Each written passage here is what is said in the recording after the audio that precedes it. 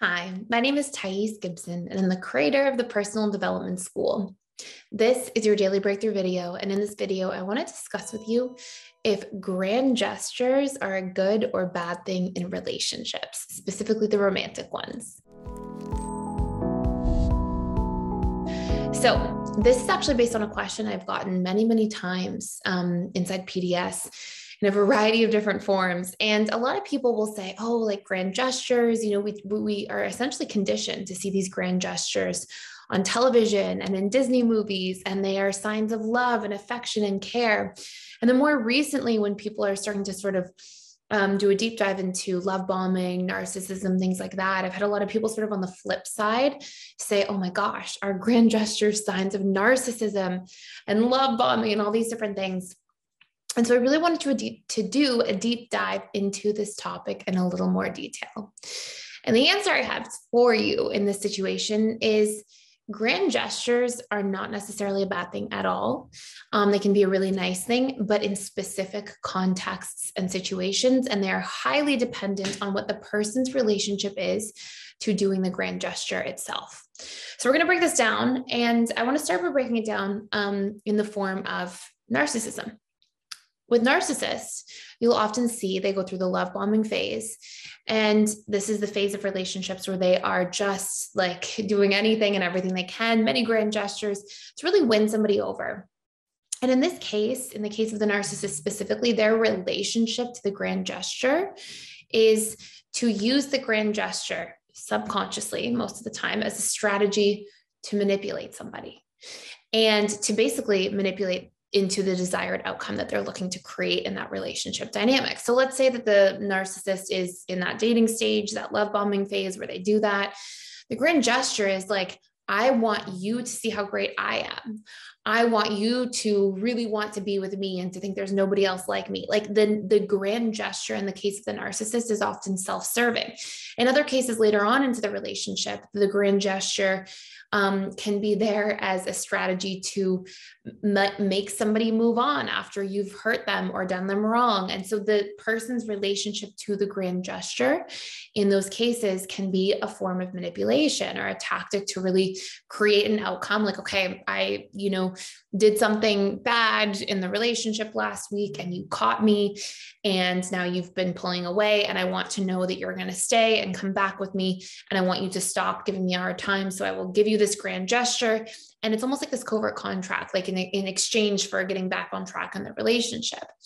And so in these cases yes grand gestures can be manipulation ta- tactics or techniques um, and in a few other forms as well but those are some of the really most common and like you know clear ones to to look at um, but we also can have somebody who decides that they want to create some kind of grand gesture in a relationship actually, I want to say one other thing. Sometimes, as well, people who are not narcissists can have an unhealthy relationship to grand gestures because they can use a grand gesture as a subconscious strategy to relieve their own guilt.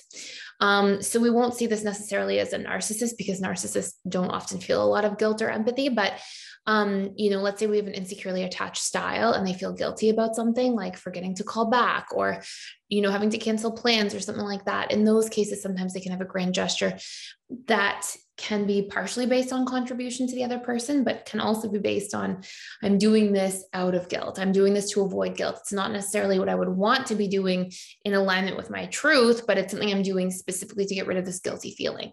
Um, so we can see situations like that as well. Hi, I just wanted to jump in here really quickly and let you know that we are doing one of our most exciting promotions that we do during the entire year. And it is our lifetime promotional sale. So basically, the lifetime membership to the personal development school gives you access to all of the 55 plus courses we've ever recorded.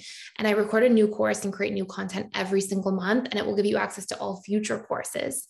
It also gives you access to all of the daily community events we have group shares, social events, guided meditations, guided morning and evening routines, communication scripts practice um, for communicating through challenging situations, and the four live webinars that I do with our students every single week. So at any point when you have a question, um, you're able to jump in there, ask me a question, and we have a history of webinars on a whole bunch of different topics. So it's basically endless content. And the really nice thing about the lifetime promotion is not only do you get to continuously learn for life, So that gives you the safety and comfort of knowing that you can rely on anything that you need in terms of going through a challenging situation, be it a breakup, be it a really rocky time in your romantic relationship with somebody. If you're looking to work on boundaries, some sort of change in the workplace, we've got courses for that as well. Um, so there's all these resources at your fingertips for life. And that promotion is going on right now. You can click the link below for almost 50% off. And I would love to see you on the other side. Come join me in the webinars, come ask me questions. And thank you for watching this. And then on the flip side, um, sometimes we see grand gestures on and, and sometimes love bombing um, from anxiously attached individuals that are not narcissistic at all but that just are in a place of like lacking in self love and really only knowing how to source their needs from their external world.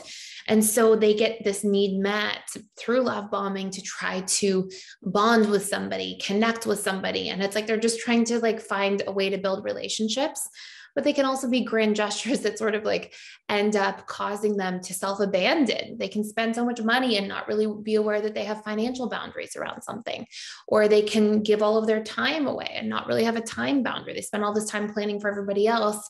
And then they feel like nobody's there to look out for them or to do something nice for them. So we can have like sort of a healthy or unhealthy relationship to grand gestures. It's basically the root of what I'm trying to explain here to you. And um, in the healthy form, you may see that somebody decides, okay, I'm going to show up and take part in this grand gesture specifically for the purpose of trying to show my partner love, show my partner care, plan for them, be thinking of them, be affectionate towards them. But in this case, you'll see grand gestures are something that this person does but this person who's doing the grand gesture is also in a good relationship to themselves. So they're doing things that feel really good for them. They're giving from a place of abundance.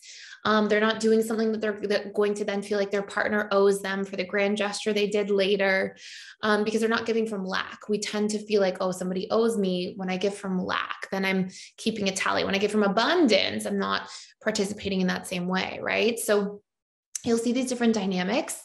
Um, and and grand gestures in the case of healthier relationships, you will see that they can absolutely happen, but you will see generally a slightly lower frequency um, because the foundational component of connection in the relationship will be so strong that there's not often so much to compensate for through grand gestures. And so you'll see grand gestures in two securely attached individuals' relationships be more like, um, thoughtful experiences around meaningful occasions.